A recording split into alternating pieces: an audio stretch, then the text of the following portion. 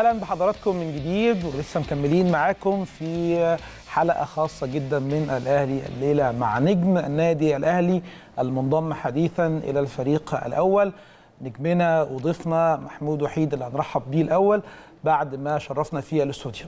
ازيك يا كابتن محمود؟ تمام الحمد لله. ربنا أخبارك إيه. الحمد لله شرفني الفل. منورني. ربنا يخليك. أحب أشكرك طبعا على الم- المقدمة الجميلة دي وإن شاء الله تبقى حلقة مميزة يعني. إن شاء الله. قبل ما أبدأ معاك تعالوا نشوف مجهزين لك إيه وتقرير عنك وبعديها نرجع نكمل مع نجمنا محمود وحيد.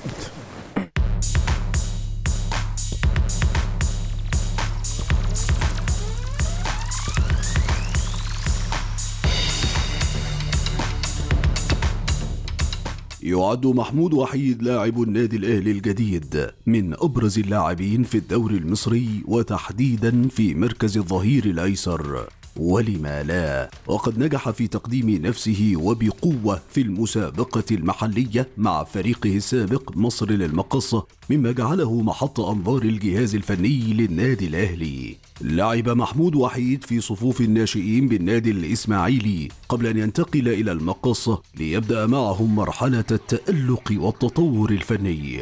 وتحديدا مع إيهاب جلال المدير الفني السابق للنادي الفيومي الذي يعتبره اللاعب الأب الروحي له لأنه نجح في اكتشاف موهبته وتطويرها حتى أصبح من أفضل اللاعبين في مركزه. شارك وحيد مع مصر المقصة في أربع عشرة مباراة من أصل خمسة عشرة خاضهم مع الفريق ببطولة الدوري الممتاز هذا الموسم بواقع 1260 دقيقة تمكن خلالها من صناعة أربعة أهداف فيما غاب عن لقاء وحيد أمام النجوم للإيقاف. حمل محمود وحيد شارة قيادة الفريق الفيومي في تسعة لقاءات بالدوري على الرغم من كونه في الرابعة والعشرين من عمره.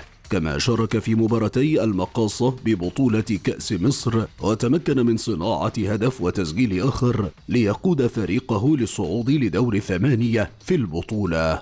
مركز الظهير الأيسر ليس الوحيد الذي يجيد وحيد اللعب فيه بل أيضا هو قادر على المشاركة كجناح أيسر. قبل أيام أعلن النادي الأهلي عن التعاقد مع اللاعب لمدة أربعة مواسم والنصف موسم. هي صفقة مميزة. الهدف منها تدعيم الجبهة اليسرى للفريق. وبالتالي هذا في ظل خطة الكابتن محمود الخطيب رئيس النادي لتدعيم قطاع كرة القدم بشكل عام والفريق الأول بشكل خاص.